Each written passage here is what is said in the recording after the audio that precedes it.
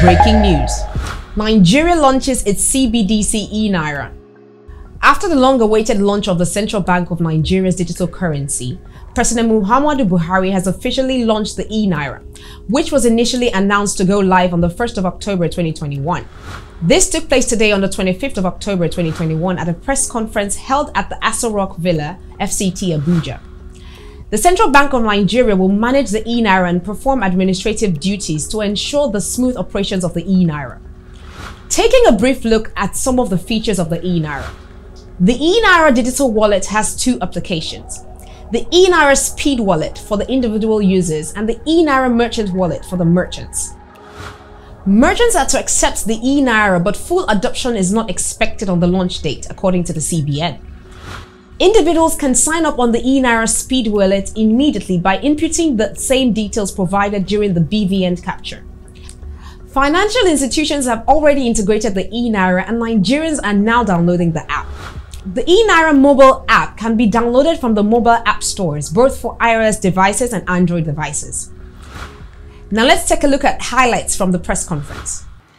Therefore, the eNaira is Nigeria's CBDC and it is digital equivalent of the physical naira.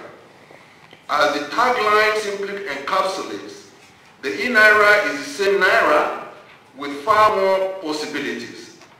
The e-naira, like the physical naira, is a legal tender in Nigeria and a liability of the Central Bank of Nigeria.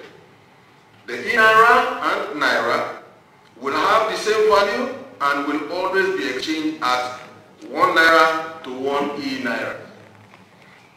It is on this basis that I am delighted to officially launch the Central Bank of Nigeria digital currency called the e-naira. And in so doing, we have become the first country in Africa and one of the first in the world to introduce a digital currency to her citizens.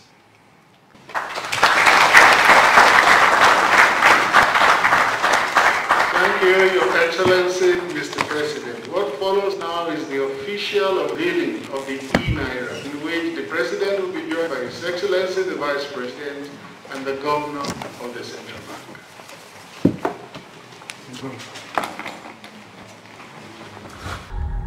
Crypto TV Plus reported weeks ago that the e-Naira's technical aspect will be handled by the foreign partner Bitt Inc. The CBN aims to bank the unbanked with the e-Naira and will drive financial inclusion using the Speed Wallet.